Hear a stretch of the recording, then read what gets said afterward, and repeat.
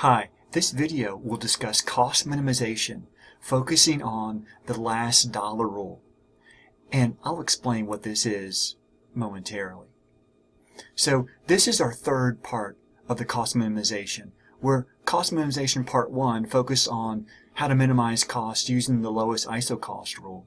Cost minimization part two focused on the maximizing output given a firm's level of isocost, or the tangency rule. And this is the third one of this sequence of how a firm chooses its optimal input combination, or how it cost minimizes. And and this one is probably the most intuitive of the three approaches. This is known as the last dollar rule. What this means is a firm will pick the bundle of inputs where its last dollar spent on an input such as capital, provides as much additional output as a last dollar spent on the other input, labor. So this says, in other words, you get a, a similar bang for your buck from that last dollar from each of your two inputs. Because if you didn't, if spending one dollar more on a worker got you an increase in output more so than spending a dollar on a machine, you simply would reallocate the dollar, spend a dollar more on workers, and a dollar less on machines. So at the end, when you're done and you're optimizing your input bundle, the last dollar you spend on a machine gets you the same output as the last dollar spent on a worker. So let's go to the image to help us understand this concept. So here's the picture we have in mind. You want to find the optimal input combination the cost minimizing way to spend $2,000 and be able to produce 100 units of output. So where this optimal bundle occurs is here at point X. And at point X, we have the slopes are equivalent between our inputs and our output. So right here at this point X, our isoquant, the line in pink, its slope is the MRTS. This is the isoquant slope. That is equivalent to the isocost slope here in blue. The isocost slope is negative W over R. So the last dollar rule is going to say, let's equate these two slopes, MRTS, slope of isoquant, with negative W over R, the slope of the isocost. Okay, and that's done here. These two slopes are equal. MRTS slope is this ratio of marginal productivities. So I'm sorry for the algebra here, but let's equate these two, you get this expression. And finally, let's move wage over here to the left side, so divide both sides by W. Let's move marginal productivity capital to the right side, so multiply both sides by MPK, and you're left with this last bottom expression. This is our last dollar rule. So what this last dollar rule says is you get, when you divide your marginal productivity of labor divided by your wage rate, this tells you the value or the benefit from $1 spent more on a worker. On the right side, this MPK over R tells you the last dollar you spend running a machine, how much more output you get.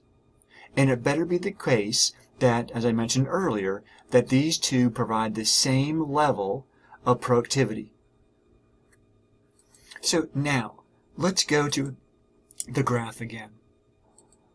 So in this graph at point X, the tangency, the optimal bundle, where you're cost minimizing, the last dollar you spend on a worker, this MPL over W, provides the same amount of additional output as the last dollar spent on a machine, MPK over R. And in this example, we're given some MPL over MPK ratios, we're given some wages and some um, rental prices of machines, and you put those numbers in, you get 0.05 for each. So in words, this says one more dollar spent on a worker gets you 1 20th or 0.05 more units of output, or $1 spent more on a machine gets you 1 20th more or 0.05 more output. One more thing, a more oh, intuitive approach is the following. Comparing the wages with the machine rental prices.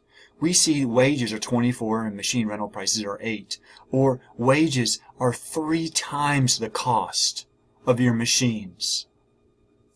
In this case, it better be the case that your marginal productivity of labor better be three times as productive as your marginal productivity of capital, or else these will not be equivalent. And in this case, we see MPL is 1.2, MPK is 0.4. So in this example, the marginal productivity of labor is three times as productive as MPK. That's why 1.2 is three times the size as 0.4. That's why these two expressions are equivalent. But one last takeaway. What if MPL were only twice as productive as MPK? Yet it costs you three times as much to hire a worker. How should the firm reallocate its resources? Well, according to the last dollar rule, if this were the case, if this were 1.2 and this were 0.6, this would no longer be equal, but instead, what we would have is we would have that were 0.6, then if this were 0.6, then suddenly the this expression is larger. And this would say, oh, spend the last dollar more on a machine and one less dollar on a worker because this is where you are most productive. Spending a dollar more here if it were the case that MPK were 0.6 instead of 0.4. Finally, one last example to illustrate the last dollar rule is what if we were at point Y and we thought um, incorrectly this was the optimal bundle? Well, in that case, of course, it's not tangent, so that's not the optimal bundle. But in this case, let's just go through the example that we have and the numbers we have for MPL and W. What we find for MPL over W, putting the numbers in, we get 0.1. Spending a dollar more on a worker gets us one-tenth of a unit of output, increase in output. What if we spent that last dollar on a machine? Well, the MPK over R gets us put the ratio in, we get 0.017, or approximately 1 50th of an increase in output. So where is the last dollar best spent? Is it on a worker that gets us 0.1 more units of output, or is it on a machine that gets us 0.017 more units of output?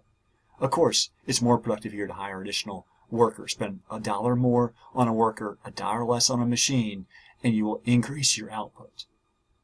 That's why Y is not the optimal bundle. These are equivalent at point X.